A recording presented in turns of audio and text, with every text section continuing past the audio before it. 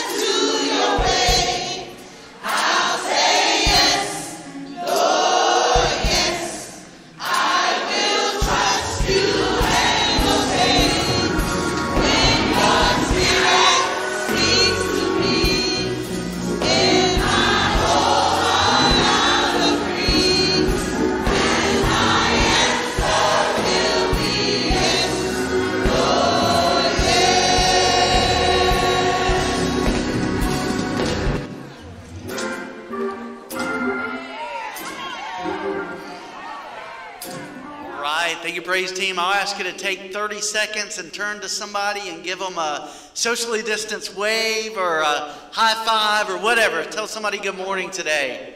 All right. All right. Good morning. Are you glad to be in the house of the Lord today? All right, let's do that again. I heard one yes. Are you glad to be in the house of the Lord today? Yes. All right. Thank you, praise team, for leading us this morning. It is good to see you today. I'm so glad you're here, whether you're worshiping with us in person or any who are visiting with us or worshiping with us online. So glad to have you as part of this worship this morning. So we thank God for the opportunity to be in his house and to proclaim, as we just heard sung for us, Yes, Lord, yes.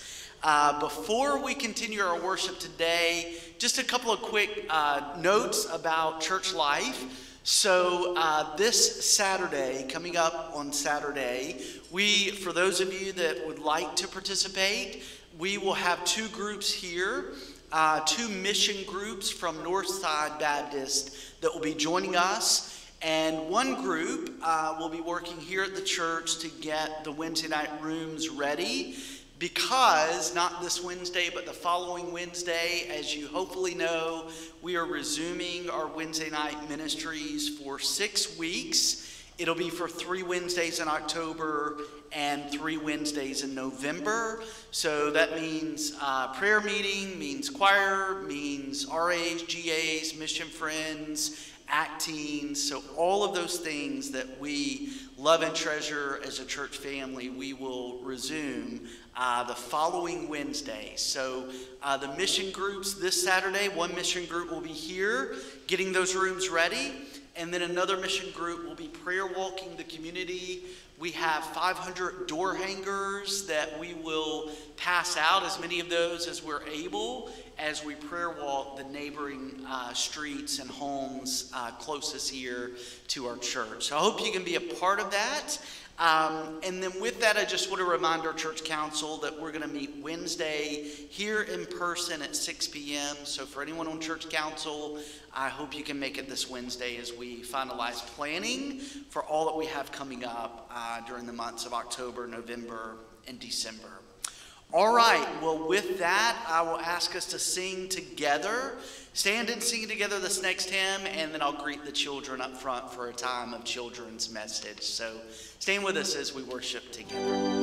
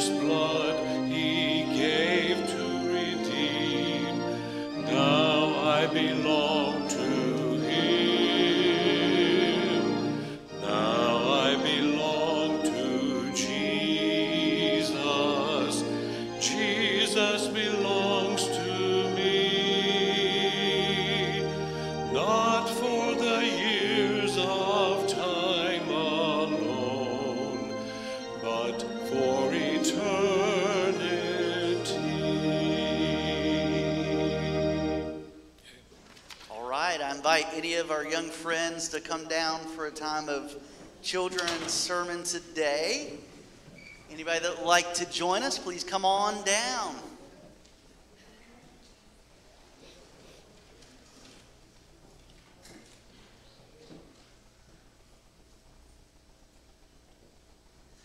All right. Well, good morning, everybody. I have a couple of questions for you today. So I'm curious um, if if we have a volunteer or two. If not, it's okay. But I'm curious to know what what's on your mind lately. So, what are you thinking about? What are you thinking about this morning?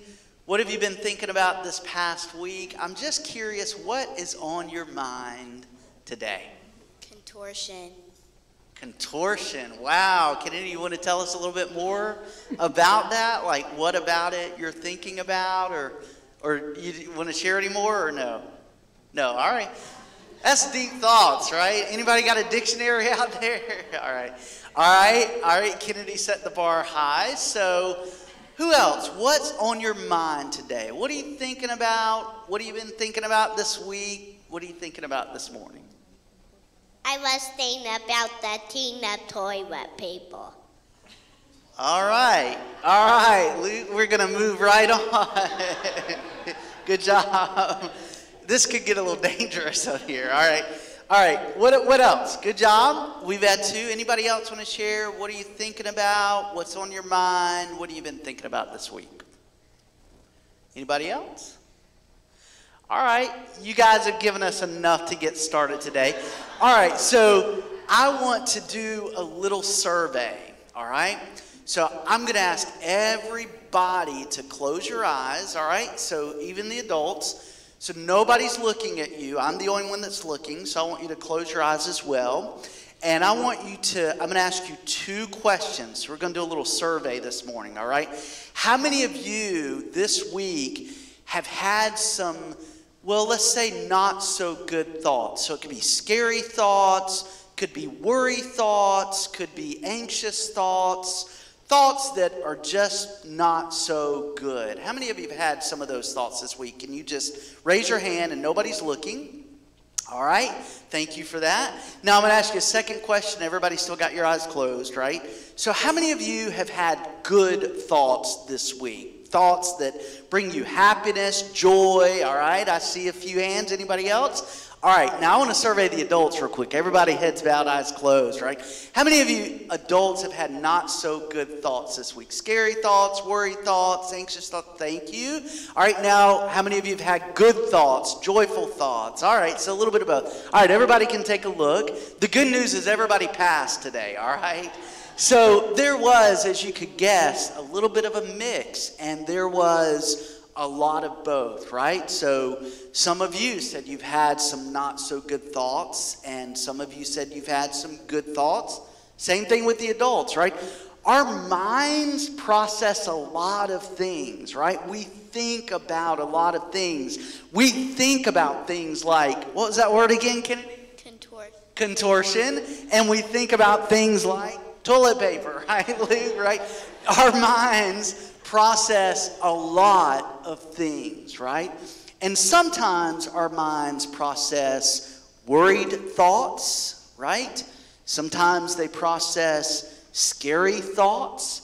Sometimes our minds process things that are would be considered not so good, but other times our minds process good thoughts, happy thoughts, joyful thoughts. And you know what? The Bible has so much to say about our minds and what we think.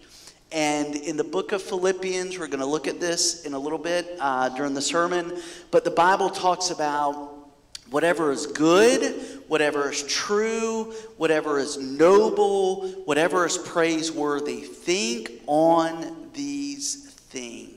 And you know, the Bible says so much about our mind.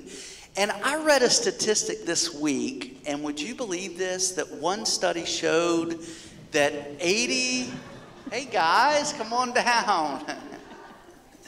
Um, one study showed that 80% of our thoughts are just what some have called like wasted thoughts, that thoughts that don't produce anything. Like 80% of what we think about doesn't really, it isn't intentional, it doesn't, it doesn't bear fruit, it isn't disciplined. And so I want to challenge you this week, and Luke, I'm going to call on you one second. I want to challenge you this week to think on good things, right? And the Bible talks about this principle of meditation and focusing our mind on the things of God. And do you know I read this week that when we do that, scientists, anybody here like science and you're good at science, right? Scientists and research tells us that when we think good things, it actually opens like these pathways in our brains and it helps our minds to think more clearly. It helps us to think better. And so there's there's scientific studies that tell us when we think good thoughts over bad thoughts that it's actually scientifically proven that it's better for our minds and, and god has wired us that way and our minds just become more clear when we think good thoughts. And so i want to encourage you today this week to think on good things. Think on god things all right because our minds and our hearts are more at peace, right, adults? You can affirm this. Our minds and our hearts are more at peace when we think on those good and godly things, all right? So can you guys help me with that this week? Think on good, godly things, all right? All right, who would like to pray for us? Luke, you want to pray? Okay, let's pray. Dear Lord, please help us have a good day. Please help us help us not and please help us feel better. Amen. Amen. Thank you, everybody. God bless you this week, all right? Think those godly things. Okay, God bless you. Thank you, boys and girls, and Pastor Stephen. Our next hymn this morning, Sweet Hour of Prayer. So I invite you to stand as we sing, please.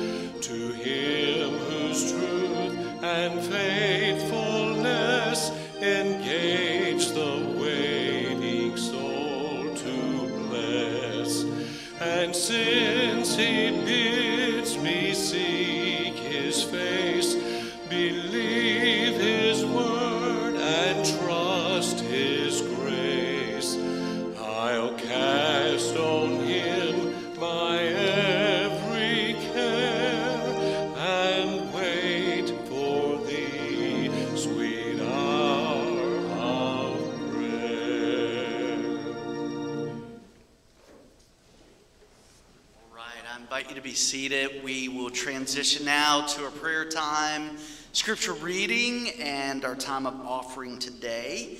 Uh, a couple of verses from scripture I want to read for you. Uh, one of these is in your bulletin from Isaiah chapter 26 and also Philippians chapter 4.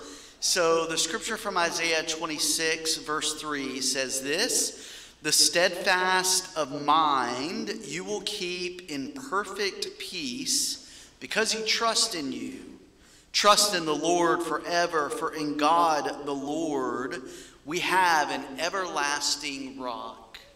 And then Philippians chapter 4, verses 6 uh, through 8, uh, the scripture says this Be anxious for nothing.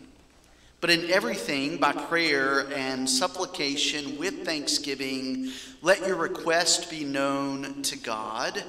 And the peace of God, which surpasseth all understanding, will guard your hearts and your minds in Christ Jesus.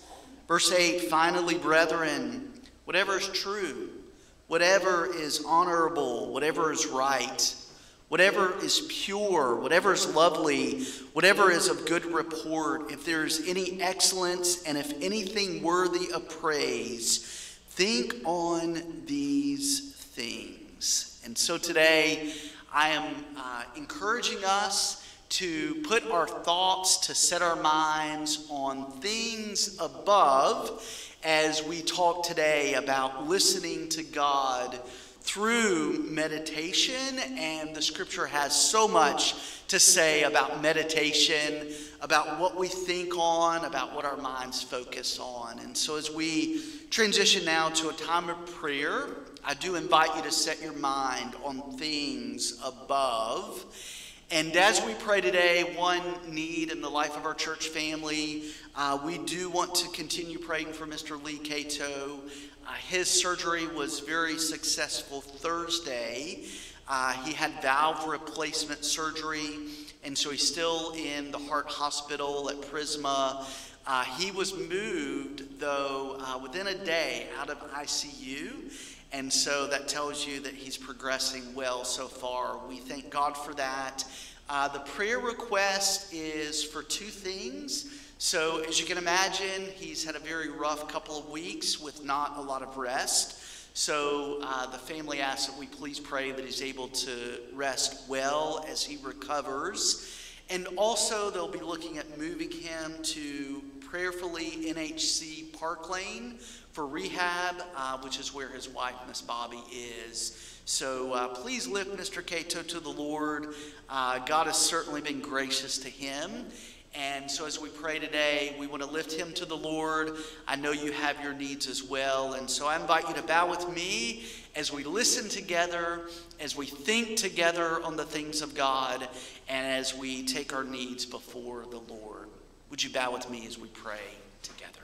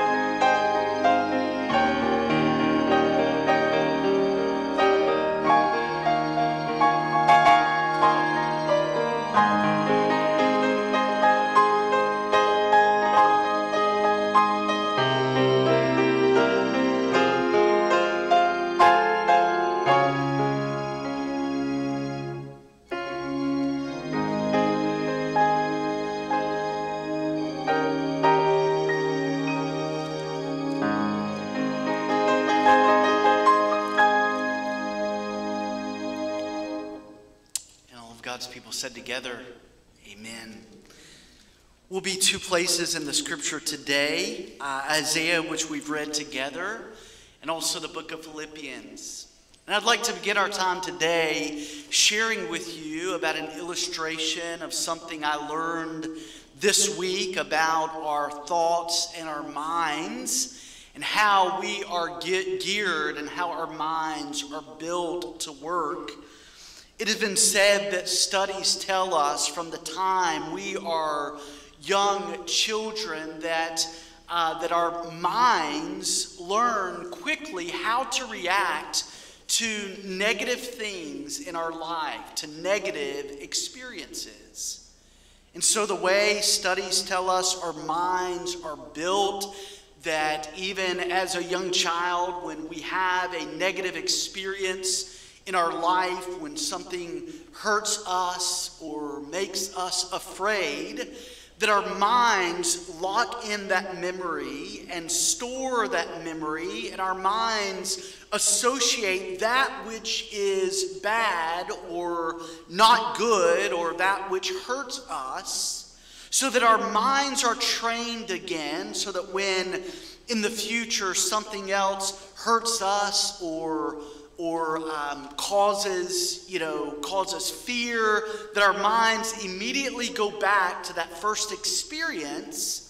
And what that does is, is it trains our minds right? And the illustration is this. If you've ever seen a piece of velcro or even if you think about duct tape, if you ever try to attach two pieces of duct tape together and try to get those two pieces to pull apart, it is virtually impossible. The same with Velcro. The Velcro attaches one side to the other, and it is very difficult to pull apart. And so our minds are like that, right? And studies tell us that our minds hold on to those negative experiences. Our minds hold on to those memories, to those thoughts of things that have hurt us or caused us fear or caused us worry. And therefore, we go through the rest of our lives, if we aren't careful, always giving precedence in our minds to the things that are not so good, right? To those thoughts that cause worry and fear and confusion. And so, if we're not careful, the natural flow of our minds then becomes to focus on that which is negative, right? How many of you know it's true that if you can't find something to worry about today, you start worrying about what? Tomorrow, right? And if you can't find something to worry about tomorrow, you, you venture into next week. And, and so, if we're not careful, then our minds are naturally trained to give precedence to that which is not so good. And the power of the gospel and the power of the new mind that our God wants to give to us, the, the power of a new heart that God wants to give us, is that we then, as Christ followers, we then are learning how to retrain our minds. And we are learning then how to let go of that negativity, to let go of those things which are not so good and in the Christian faith, then, we are working to retrain our minds to think on that which is good.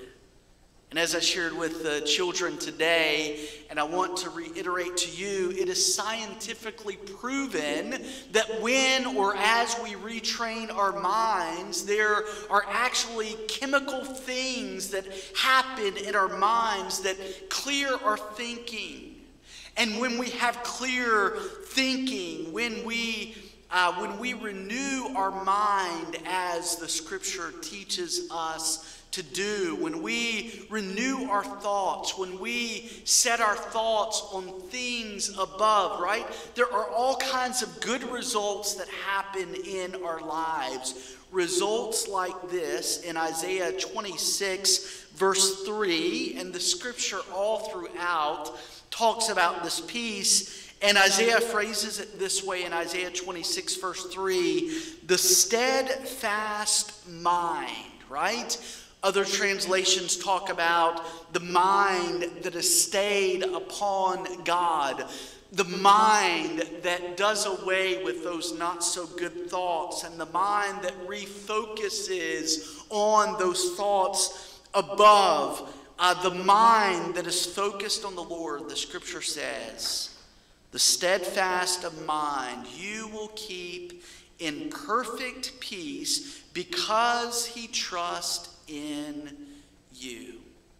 And so in the New Testament, we have some teachings from the Apostle Paul and his writings. And I want to ask you to turn there to Philippians 2 because it is there in Philippians that we read so much about the mind. For example, in Philippians chapter 2, verse 5, the scripture there says, depending on your translation, uh, but the scripture says, Philippians 2, verse 5, have this attitude in yourselves. Or, one translation says, let this mind be in you that was also in Christ Jesus.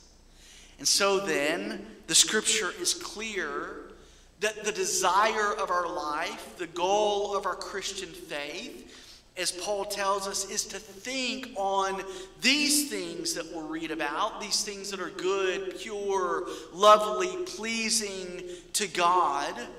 Philippians 2, verse 5 had this mind in you, or this attitude in you, which was also in Christ Jesus.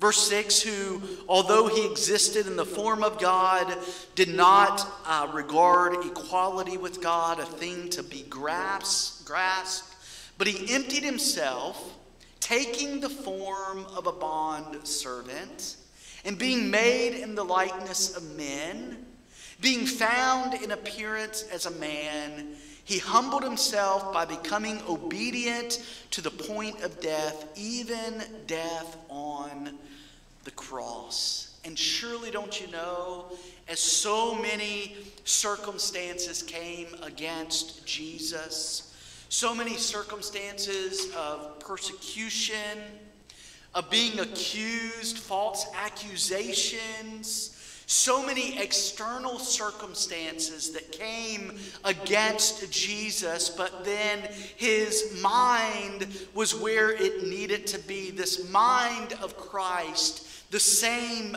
mind that we should seek to have. If you'll notice, for Jesus focused on things like in verse 7 emptying himself, taking the form of a bondservant, and being made in the likeness of men. He humbled himself by being obedient even to the point of death on the cross. Our mind is to be focused as Christ has given this example for us.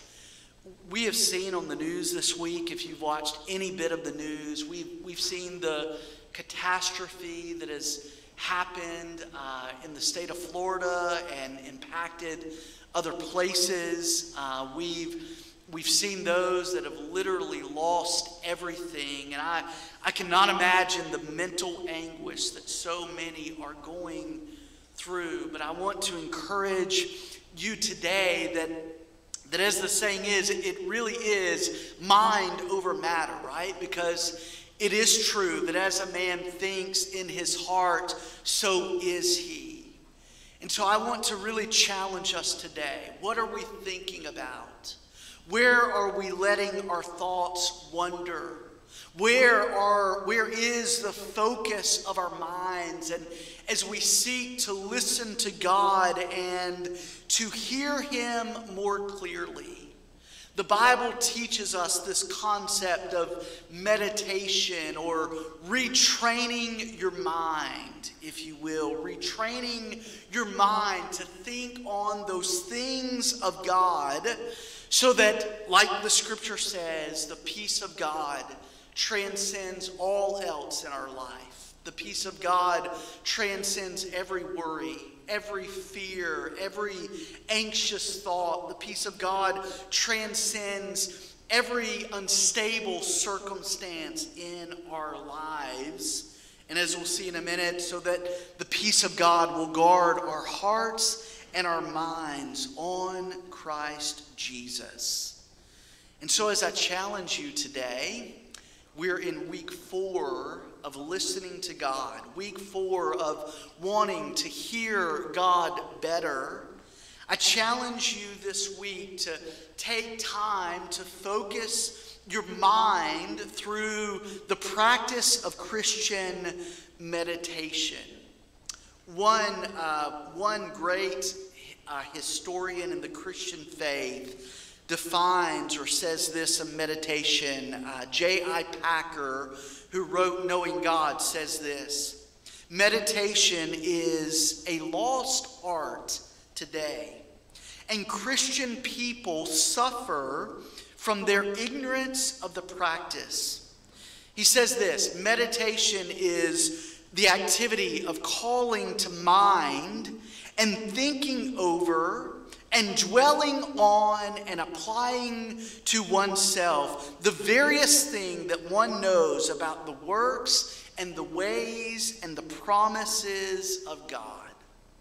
He says this of Christian meditation that it is an activity of holy thought it is consciously performed in the presence of God, under the eye of God, by the help of God, as a means of communication with God.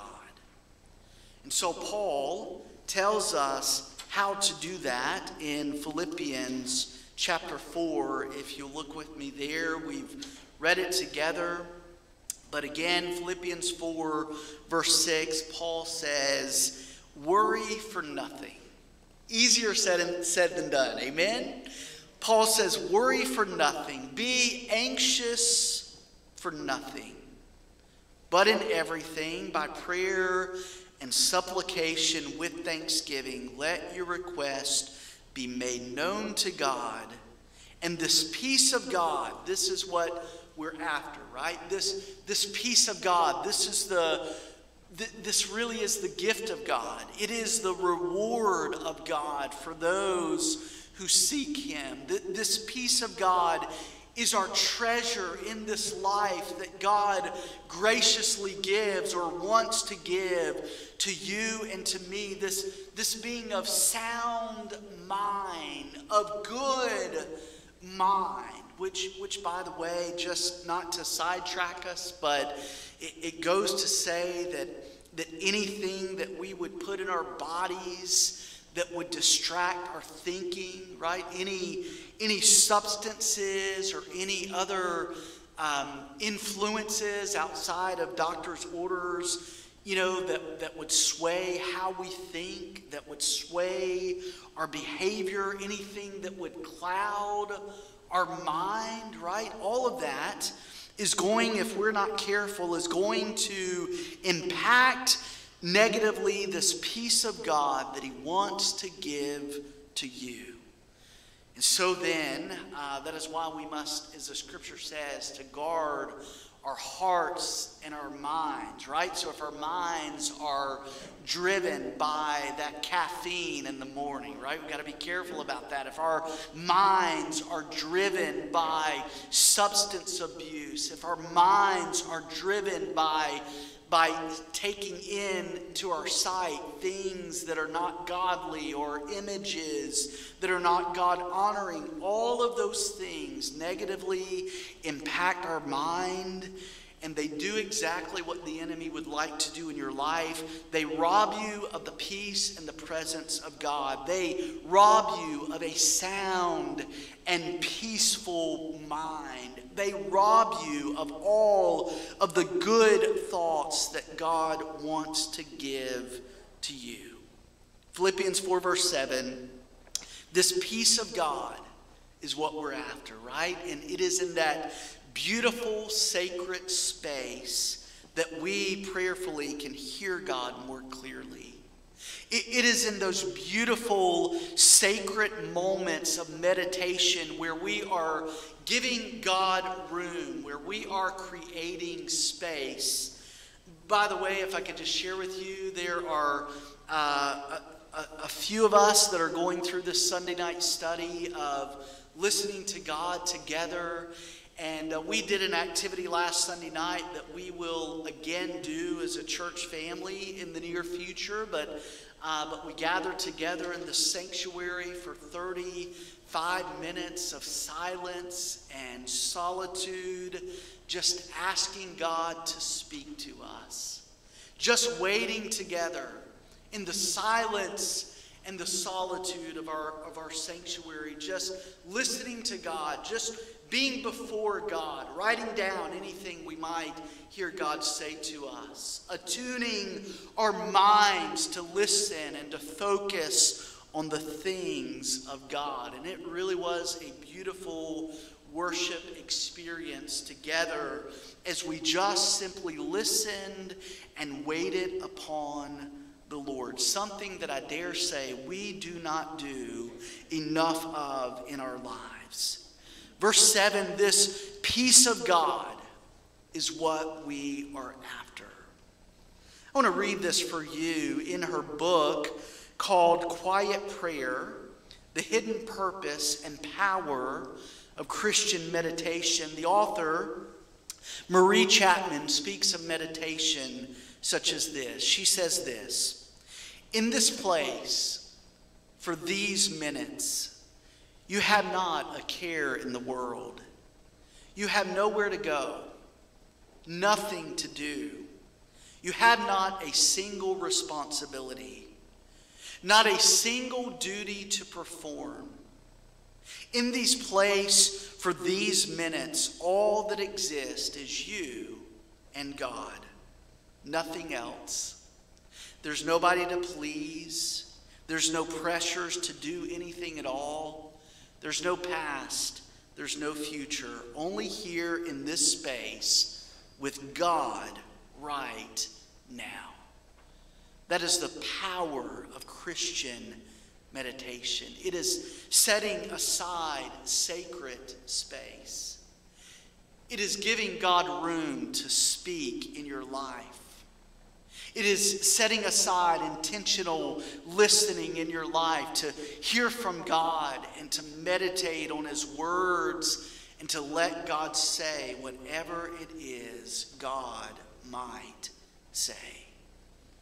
There are some results of doing what the scripture says when it says to, um, to guard our hearts and our minds in Christ Jesus when it says to think on these things, there are a couple of results that, uh, in addition to the peace of God in our life, uh, Christian meditation helps us focus on the wonder of God. Um, Rita just had a great experience out at Yellowstone, and if you have a chance to see her pictures, just a wondrous opportunity to focus on the wonder of God in His beautiful creation. When we come before God in these sacred, silent moments, it, it helps us to see ourselves as God sees us. It, it helps us to calm our inner spirit and to meet with God in that sacred space and to find this gift of peace that so many are longing for in their lives. It, it helps us to understand God's word better. It helps us to gain better insight into God's will. And so I leave you today with the simple challenge in your own life. When is it this week that you will create that sacred space for God to speak? When is it in your life this week that you are going to set aside those few moments hopefully every day, but when is it that you're going to set aside those few moments every day to do what the author suggested in this place for these minutes? There's no care in the world. You've got nowhere to go, nothing to do, not a single responsibility, nothing to perform. In these place for these minutes, all that exists is you and God, no one else and nothing else. I want to encourage us today, this week, to, to focus our thoughts, to renew our thoughts, right? Jesus said it well. He said, This day has sufficient worries. Amen?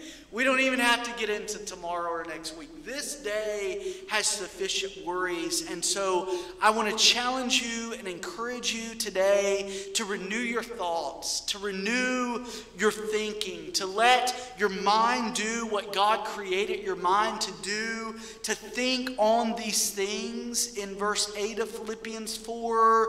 Think on those things that are true Think on those things that are honorable, those things that are right, those things that are pure, those things that are lovely, those things that are of good report, those things that are excellent, those things that are worthy of praise. Paul says that we are to dwell and we are to think on these things. I promise you that God's reward of peace will come. He will give you greater peace than any doctor could ever help you find. He will give you greater peace than any medication could ever provide for you. It is that internal, deep seated peace. It is God's gift and what He offers to you and to me as we think on those things that as your pastor, I want to pray for you today because I realize that our minds, if we aren't careful, they wander into those negative things. And I'd like to pray for us that God would help us renew our minds. And after the prayer today, we'll have a time of invitation, and then we'll actually close the service uh, with our time of offering as we leave. So, would you bow with me as we pray together? Father, today as I look across this beautiful congregation, Lord, you've blessed me and given me the honor to be their pastor. And so, Father, today I pray for us. I pray that you would help us to guard our hearts and our minds in Christ Jesus. I pray to, today, Lord, that you would help us to give you our anxious thoughts Lord, help us to give to you our worried thoughts. Father, today help us to repent and turn away from thoughts that have been ungodly or less than pleasing to you. Father, help us to give you that sacred space in our lives where you can speak to us. Lord, perhaps now in these moments, it is that sacred space where it is just us and you. In these moments, Lord, we have not a care in the world. We have nowhere to go, nothing to do, not a single responsibility, not a single duty to perform as in these play in this place for these moments all that exist are us and you. Father, would you speak to us today? And Lord, during this time of offering and during this time of invitation, as we sing together, we are listening. Help us to renew our hearts and our minds upon you. We ask it in Jesus' name. Amen. Would you stand with us as we sing?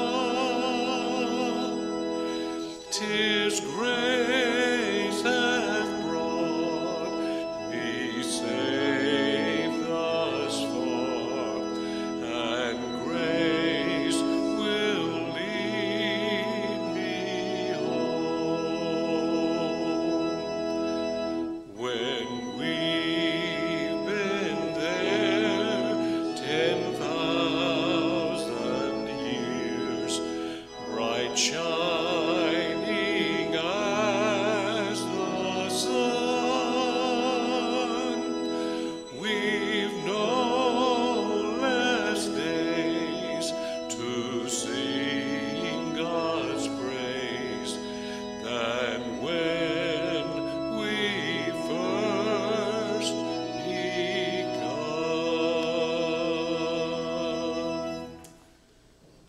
thank you for your presence here today. We invite you to stay for a time of fellowship downstairs, time of Sunday school as well.